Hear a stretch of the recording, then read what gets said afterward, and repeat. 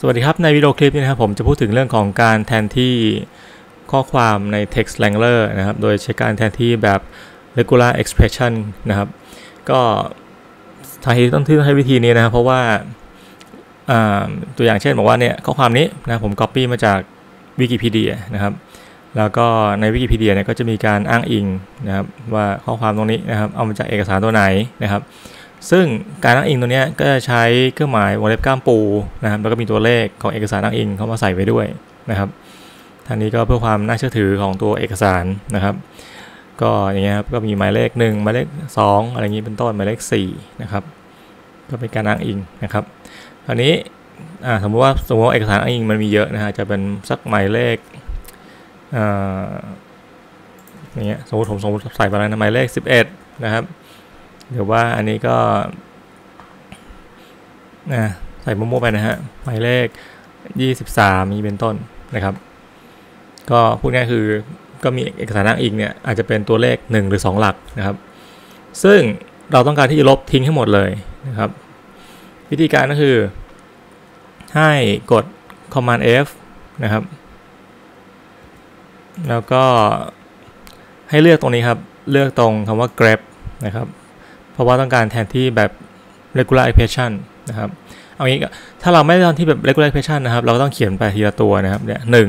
นะครับมาเอกสารเบอร์หนึ่งแล้วกด replace นะครับ เอกสารเบอร์สองแล้วกด replace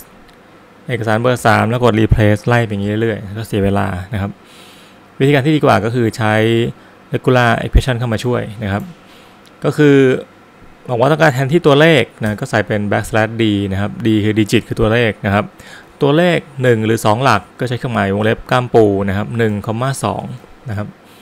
นะถ้าเรากดดูนะครับ replace ตัวนี้ดูนะครับ replace all นะครับก็จะเห็นว่าเลขทั้งหมดเลยเนี่ยนะที่ตรงนี้เป็นเลข 7 ใช่ไหมครับจากเดิมตรงนี้เป็นเลข 10 เลข 20 กว่าอะไรก็ว่าไปนะครับ หายไปแล้วนะครับทั้งวิธีนี้ก็สามารถที่จะค้นหาตัวเลขนะครับ 1 หรือ 2 หลักแล้วแทนที่ได้นะครับ ต่อไปก็ต้องการที่จะลบตัวก้ามปูด้วยนะครับ ก้ามปูเนี่ยถ้าเราใส่ตรงๆนะครับในนี้ไม่ได้นะครับ เพราะว่ามันเป็นเครื่องหมายสัญลักษณ์ใน regular expression นะครับวิธีการที่จะแทนที่ก้ามปูเนี่ยต้องใส่เป็น backslash ก้ามปูนะครับแล้วก็ backslash ก้ามปูปิดตรงนี้นะครับโอเคนะครับอันนี้คือวิธีการแทนที่ reference ทั้งหมดนะฮะด้วย empty string นะครับแล้วผมกด replace all ดูนะครับก็จะหายไปแล้วนะครับ โอเคนะต่อไปอาจจะแทนที่ space นะครับ 2 ตัวอย่างเงี้ยนะครับด้วย space 1 ตัวนะครับ แล้วก็ replace all ไปนะครับด้วย replace 1 ตัวนะครับโอเคก็เอกสารก็โอเคขึ้นนะครับ ก็ประมาณนี้นะครับการแทนที่โดยใช้ regular expression ใน text wrangler